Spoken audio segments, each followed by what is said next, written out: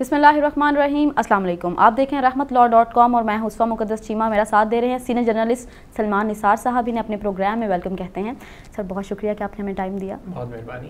ناظرین محترم آج ہم بات کریں گے نیب قوانین میں ترامیم کا فیصلہ۔ حکومت کا درست ہوگا یا غلط؟ اور اگر ہوگا یہ فیصلہ تو اس سے اپوزیشن پر کیا اثرات مرتب ہوں گے؟ کہ آیا اپوزیشن جو ہے وہ ہماری حکومت کا ساتھ دیں گے یا نہیں؟ اسی ٹاپک پر بات کریں گے۔ سر فرسٹ آف آل جو میں سوال سے پوچھنا چاہوں گی وہ یہی ہے کہ جس طرح کا آ رہا ہے کہ حکومت جو نیب قوانین ہیں، اس میں ترامیم کا فیصلہ کیا جا رہا ہے۔ تو آپ کے خیال میں یہ فیصلہ درست ہے یا غلط؟ جی دیر آئے درست آئے یا کفر ٹوٹا خدا خدا کر کے۔ یہ وہ فیصلہ ہے جو شاید بہت پہلے ہو جانا چاہیے تھا۔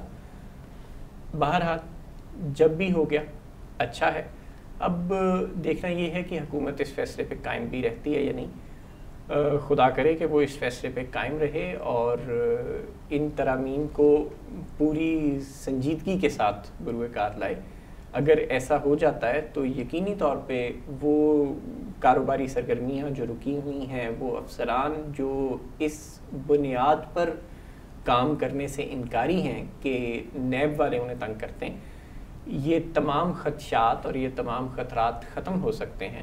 اور اس سے یقینی طور پہ نہ صرف بزنس کمیونٹی اچھا محسوس کرے گی پروٹیکٹڈ محسوس کرے گی، بلکہ وہ سرکاری افسران اور دیگر اہلکار جو نیب کے خوف کی وجہ سے درست کام کرنے سے بھی کترا رہے ہیں، ان کے سروں سے بھی یہ تلوار لٹکنی بند ہو جائے گی اور وہ بھی اپنے کاموں کو زیادہ توجہ کے ساتھ سر انجام دے سکتے سر آپ کیا سمجھتے ہیں حکومت کا یہ جو فیصلہ ہے کیا حکومت اپنے اس فیصلے کو اصولی بنیادوں پر کرے گی یا پھر اپنے مفاد کی حد تک؟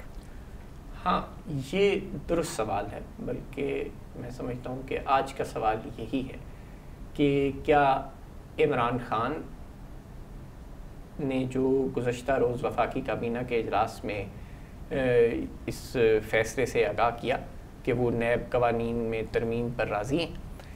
کیا ان کی یہ رضامندی اسی درجے اور اسی معیار کی ہوگی کہ جس معیار پر وہ یہ بات اپنے دور وزارت عظما سے پہلے کیا کرتے تھے؟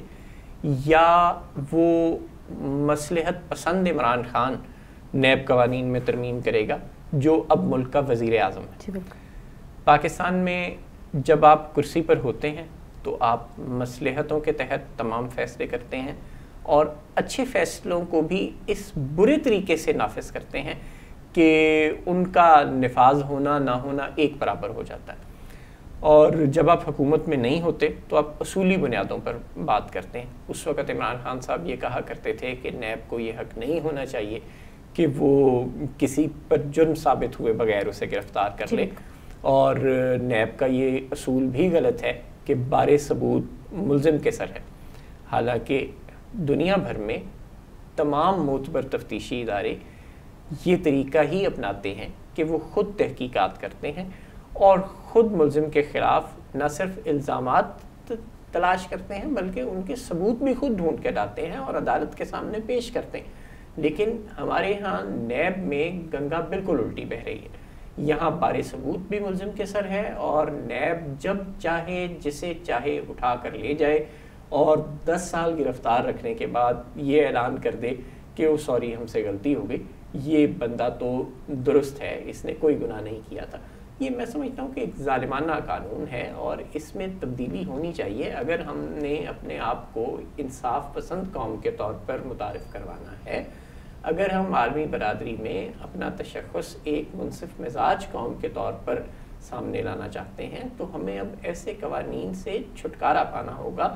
جو جن سے انتقام کی بو آتی ہے جو حکومتیں ہتھیار کے طور پر استعمال کرتی ہیں اور جو بزنس کمیونٹی کو اور سرکاری افسران کو محض ایک تھریٹ کے طور پر ہمیشہ تنگ کرتے رہتے ہیں۔ ہمیں ان سے اب جان چھڑانی چاہیے۔ اور نیب میں اگر یہ اہلیت ہی نہیں ہے کہ وہ کسی کے جرم کو ثابت کر سکے تو پھر ہمیں اسے بند کر دینا چاہیے۔ دنیا کے جو اچھے تفتیشی ادارے ہیں ان میں کنوکشن ریٹ نوے فیصد سے بھی زیادہ ہوتا ہے۔ اور ہمارے ہاں نیب کا جو کنوکشن ریٹ ہے وہ شاید ایک یا دو فیصد ہے بدقسمتی سے۔ آپ دیکھیں یہ لوگ اگر ہر ماہ اوسطاً دس لوگوں کو گرفتار کرتے ہیں تو ان میں سے ایک کو بھی مجرم ثابت نہیں کر پاتے۔ بالکل۔ تو سو میں سے ایک کو مجرم ثابت کر لینے والے ادارے کو تو بند کر دینا چاہیے یا اس کے قوانین کو فوری طور پر بہتر بنایا جائے۔ لیکن اگر ہم دیکھتے ہیں حکومت اگر بہت ایمان، جس طرح سے آپ نے فرمایا کہ پرائم منسٹر عمران خان صاحب کا جو پہلے کا موقف تھا، حکومت میں آنے سے پہلے کا، اور اب کے موقف میں بہت فرق ہے۔ اور اگر حکومت ایمانداری کے ساتھ اصولی بنیادوں کے اوپر یہ نیب کے قوانین میں ترامیم کرتی ہیں، تو کیا اپوزیشن کا ساتھ دیں گی؟ اگر دیں گی بھی، تو اگر ہم دیکھتے ہیں نواز لیگ کو اور پیپلز پارٹی کو، تو کیا ان کا، ان کے جو پوائنٹس ہوں گے وہ الگ الگ ہوں گے یا وہ ایک ہی فرنٹ لائن پہ کھڑے ہوں گے؟ دیکھیے، فی الحال تو دونوں ایک ہی کشتی کے مسافر ہیں اور دونوں کو ایک لائن اختیار کرنی چاہیے، تاہم اگر اس حوالے سے کوئی چیز آڑے آئے گی تو وہ شاید میاں نواز شریف کی ضدی طبیعت ہے۔ ضدی کہیں یا تھوڑی سخت مزاجی کہیں۔ وہ بہت کچھ برداشت کر رہے ہیں اسی نیب قوانین کی وجہ سے۔ تاہم، وہ علل اعلان کہہ چکے ہیں کہ ہم نے تو بھگت لیا ہے، اب دوسروں کی باری۔ اور میاں نواز شریف کی تاریخ یہی بتاتی ہے کہ وہ اپنے فیصلے بہت مشکل سے بدلا کرتے ہیں اور جب وہ ایک موقف اپنا لیں تو پھر وہ اپنی جان کی بھی پرواہ نہیں کرتے، اس پہ بہت سختی سے ڈٹ جانے والے آدمی ہیں۔ ان سینس یہ حکمران کی ایک اچھی کوالٹی بھی ہے۔ تاہم، آصف زرداری ضدی نہیں، بلکہ ایک لچکدار مزاج کے حامل انسان اور وہ معمر بھی ہیں اور بیمار بھی ہیں اور نیب کی حراست میں بھی ہیں۔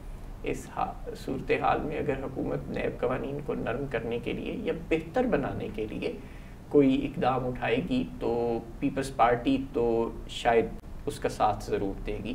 بلاول بھٹو تو بارہا یہ کہہ چکے ہیں کہ نیب کے قوانین غلط ہیں اور انہیں اصولی بنیادوں پر درست ہونا چاہیے۔ وہ بار بار کہہ چکے ہیں کہ بار ثبوت ملزم کے سر نہیں ہونا چاہیے۔ وہ بار بار کہہ چکے ہیں کہ نیب کو کسی شخص کا جرم ثابت کیے بغیر اسے اٹھانے کی گرفتار کرنے کی اجازت نہیں ہونی چاہیے۔ تاہم نون لیگ کو پیپلز پارٹی اپنے ساتھ ملانے میں کامیاب ہوگی یا نہیں؟ اور سب سے اہم کہ کیا حکومت اپنے رویے سے اپنے بڑے پن کا ثبوت دینے میں کامیاب ہوگی یا نہیں؟ یہ دیکھنا ابھی باقی ہے۔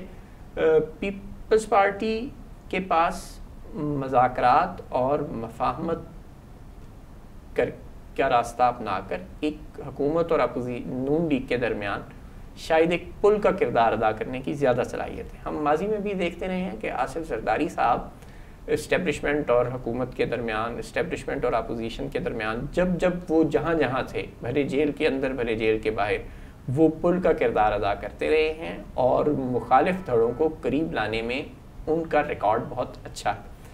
تو ہر چند کے نون لیگ اور پی ٹی آئی میں بود المشرقین جی ہیں اور ان کے درمیان مفاہمت اب کسی بھی موضوع پر ہونا خاصا مشکل ہو چکا ہے۔ دونوں جی۔ جماعتیں اس حد تک شدت پسند موقف اپنا چکی ہیں کہ اب ان کے لیے ایک دوسرے کے قریب آنا خاصا مشکل۔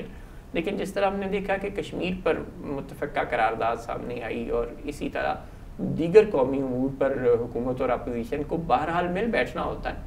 اسی طرح این ممکن ہے کہ نون لیگ بھی مگر حکومت کی جانب سے کوئی سنسیئر کوشش کی گئی اپوزیشن کو منانے کی اور ایک اچھا ترمیمی مصفدہ سامنے لایا گیا، تو شاید وہ حکومت کا ساتھ دینے پر تیار ہو جائیں۔ تاہم، سب سے اہم کردار حکومت کی جانب سے ترامیم کا اچھا مسودہ سامنے آنے پر ہے۔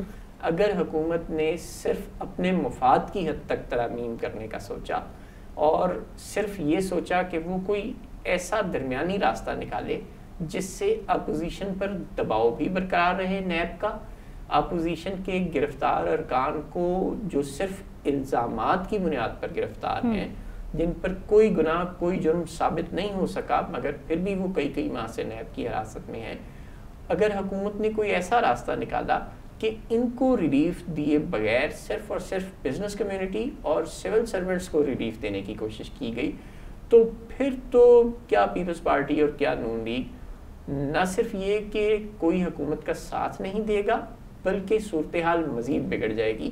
اور اس کشمیر کے جو انفارچونیٹ انسیڈنٹ کی وجہ سے کسی حد تک اپوزیشن اور حکومت نے پارلیمنٹ میں مل کر چلنے کی کوشش کی جی ہے وہ ساری یکجہتی کی فضا بھی تار تار ہو کر thank you so much for your time sir کہ آپ یہاں تشریف لائے. بہت شکریہ آپ کا. جی ناظرین محترم ہمارے ساتھ موجود تھے سلمان نثار صاحب جو سینئر جرنلسٹ ہیں. انہوں نے بتایا کہ نیب قوانین میں جو ترامیم کرنے کا سوچ رہی ہے حکومت ان کا فیصلہ کس حد تک درست ہوگا؟ اگر وہ کریں گے تو بہت اچھا ہو جائے گا. باقی کیونکہ تھوڑا سا ریلیف ملے گا اپوزیشن کو بھی. انشاءاللہ پھر آپ سے ملاقات ہوگی کسی اور پروگرام میں. جاتے ہوئے کہہ دوں کہ ہمارا جو پروگرام ہمارا چینل ہے رحمت لاء ڈاٹ کام کا اس کو سبسکرائب کیجیے گا اور ہمارا جو فیس بک پیج ہے اس کو لائک اور شیئر کیجیے گا. اپنے کمنٹس اپنے فیڈ بیک سے ہمیں آگاہ کیجیے گا. انشاءاللہ پھر ملاقات ہوگی تب تک کے لیے اللہ نگہبان۔